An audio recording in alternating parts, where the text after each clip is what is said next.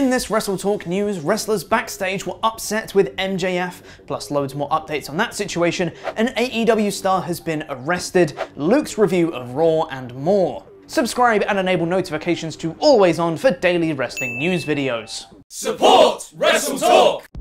The talk of the wrestling world going into and coming out of Double or Nothing is MJF, who had an awful lot of controversy surrounding him. For a brief roundup, he no-showed a meet and greet, reportedly had a flight booked out of Las Vegas which would have seen him miss Double or Nothing, but ended up staying and working his match as planned, though he was stretching out of that match, seemingly writing him off AEW TV for a while. Now there are lots more details surrounding the situation that have emerged. PW Insider is reporting exactly what happened this past weekend, noting that MJF only arrived in the arena while the buy-in was on the air, and it was done so quietly and quickly that most of the locker room didn't even know he was there.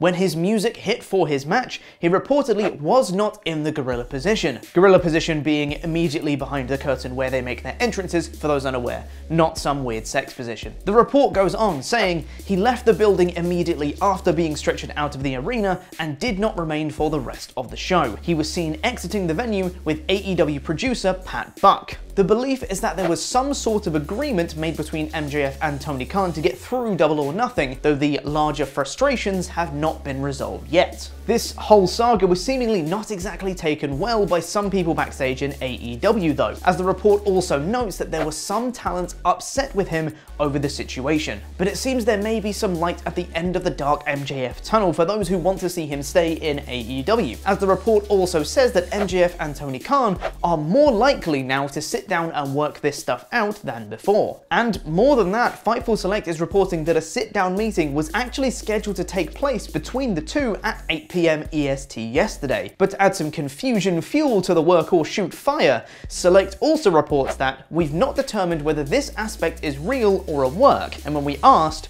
no follow-up answer was provided, which was a first throughout this situation. Sean Ross Sapp also tweeted that he spoke with MJF directly, who said he had a lot to think about. I have no idea what's going on anymore. This entire situation is a complete mess with tangled webs of work and shoot and disagreement and contracts and meetings and flights that were booked but weren't boarded, and I have no idea when we'll gain any clarity on it. But for the latest as it develops, stay tuned to WrestleTalk.com. The last time we saw Jake Atlas, he faced Adam Cole on AEW TV, unfortunately tearing his ACL during the match, and he's been off our screen since while he recovers. Last week, however, Atlas was arrested and charged with misdemeanor battery, domestic assault. The police report from the incident noted how Atlas was intoxicated and became physically aggressive towards his partner, after he was showing more attention to their friend than Atlas. He was also physically aggressive a second time in another attempted attack on the victim, who was left with scratches and a torn tank top. Atlas was released from jail on May 23rd and has a court date in Orange County on June 28th. We'll keep you updated as this develops on WrestleTalk.com too. Before we get on with the rest of the episode, I'd just like to say a huge thank you to this video's sponsor, Tennis Clash, a free mobile PvP game with super high-end graphics and a pure fun playing experience. Available on both Android and iOS. Download it now using my links in the description box below, where you'll get 200 gems and 500 gold to start the game strong. Tennis Clash has become a massive worldwide hit, with more than 60 million players across the globe. Just look at that 4.7 rating on the App Store. Dave Meltzer would be proud. And the game is getting better all the time, like this year's collaboration with the Roland Garros tournament, aka the French Open, where they've created an amazing in-game version. I've been uh, been practicing my forearm a lot for this. Watch me be great at this game. I'm on tour, I'm a New York rookie. I am facing someone called Tafui. Okay, okay, here we go. And. Oh. Oh my god, what a shot! Oh, I tried to be technical there. Oh, what a volley. Oh, but he's brought it back. You're not coming back from that, though. Mmm, the forearm power. Is that in? What a freaking service. I'm glad that this is being recorded. What I love about the game is how I can hone my character in on one ability forehand, backhand, or agility. It's the tennis equivalent of create a wrestler. Do you want them to be high flying, technical, or submission? So download Tennis Clash now for free using the links in the video description below, and you'll get 200 gems and 500 gold for supporting my channel. Give it a go and tell me about the game in the comments, or I'll reply that how much better I am than you are. I will end you. Please do at least check the game out as it really helps support this channel. Ace that ace. And now it's time for my review of Monday Night Raw, the go home edition before Hell in a Cell this Sunday. And yes, I also forgot it was Hell in a Cell this Sunday in about five minutes. The show opened with Becky Lynch cutting a typically fabulous promo with such brilliant lines as I run on spite and coffee, which is the same as Adam Blampied. She also pointed out that the only reason Asuka was champion in 2020 is because Lynch gave her the belt while she was off creating life like the god that she is. A line that was booed by the crowd. Are you booing childbirth? Asuka came out and was awesome, as did Bianca Belair, so they could all stand in a row. This led to Asuka versus Belair, which was a very good match that saw the champion win. And afterwards, Becky laid out both women to stand tall. Simple and effective build for this Sunday's match, apart from pinning the number one contender to the Raw Women's Championship twice in two weeks. Still, wins and losses don't matter, I guess. Remember that, children. In the industry, we call that foreshadowing.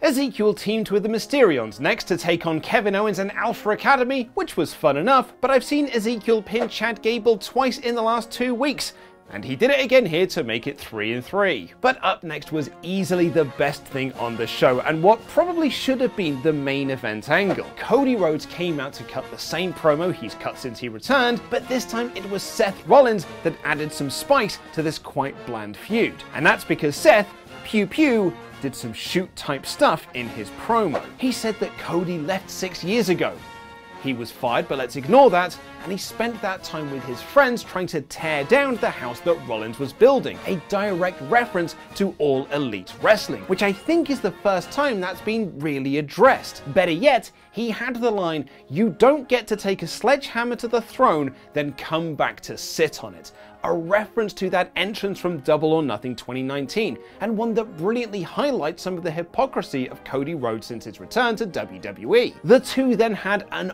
awesome brawl, with a rare Michael McGillicutty spotting to Loud Thunderous, this is awesome chants from the crowd. And yeah, it was awesome.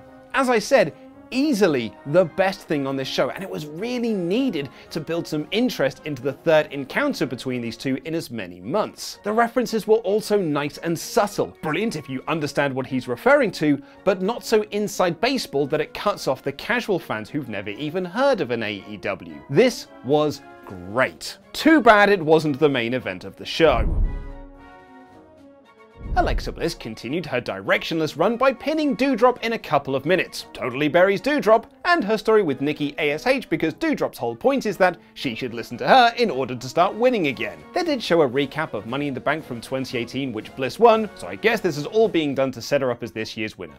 Apart from that, Big old shrug. Speaking of shrugging, and Miz had a Miz TV segment with the Street Profits that quickly became a 24-7 segment where Tamina won the belt then Tozawa pinned her afterwards. It was a total waste of time, and it lasted a long amount of it. Also T-Bar was there. Mustafa Ali then had a match with an entrance-less Ciampa. Quite impressive to make Tommaso Ciampa this irrelevant this early in his main roster run. Where the gimmick was that if Ali won, he would get a US title match against Austin Theory. So of course Theory caused a DQ and Ali won. Now you may think that's a bit silly, but Theory then announced they would have that match right now, which was a really nice touch as Theory quickly beat the beaten down Ali, who put in a wonderful performance selling that plight. But then, oddly, Adam Pearce came out and said that Vince McMahon has decided that Ali should have a fair fight and there'll be a rematch this Sunday. Why?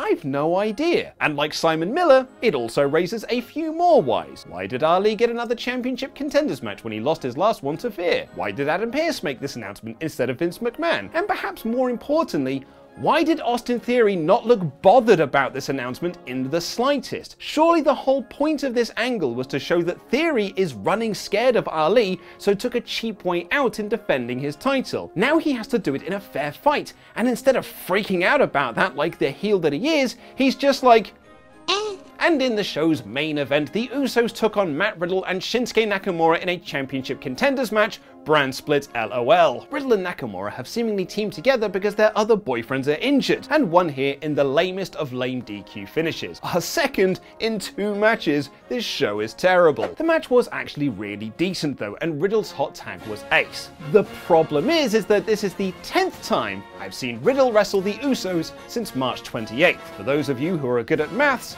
that was nine weeks ago. I have seen them wrestle 10 matches in nine weeks. And in all of this, Riddle hit a super RKO and stood tall. So why didn't you just have them win to set up the title match rather than doing a lame DQ finish? Oh, because you don't want to pin your champions? But I thought wins and losses don't matter. See kids foreshadowing. But yeah, as I said, that was the main event of this week's Raw. What did you make of it? Let me know in the com- Sorry, what? Another out? There's another hour of this show to go. I don't believe you.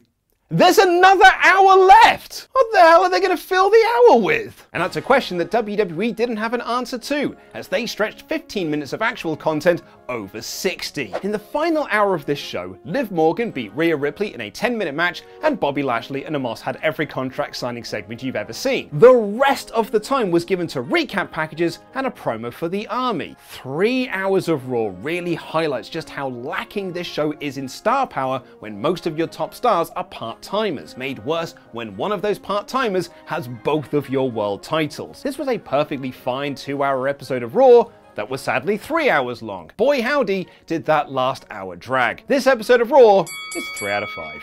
CM Punk is your new AEW World Champion. MJF was buried in his match with Wardlow, and plenty of debuts in AEW 2. Here's my review of AEW Double or Nothing in about 10 minutes. Subscribe and enable notifications to always on for daily wrestling news videos. So let's get this out the way to start with. AEW pay-per-views are too long. I don't care how great the wrestling is, over